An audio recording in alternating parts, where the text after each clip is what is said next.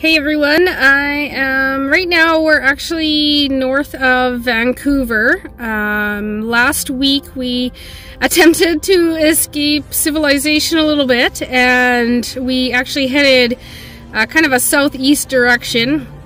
Uh, as it turned out, uh, pretty much every road that we took, logging road, whatever, if there was any road that led further into the bush or further away from humanity, it was gated off. So uh, this week we've actually decided that we are uh, venturing more to the north of the city towards Whistler and just looking for some, you know, peace and quiet and nature while we're in self-isolation.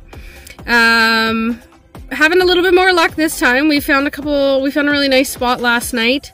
And uh, you know I'll keep uh, I'll I'll keep a little bit of a collection of you know the different things that we see this direction. But uh, for now I took a bunch of different pictures of all the different things that we saw on our journey last week.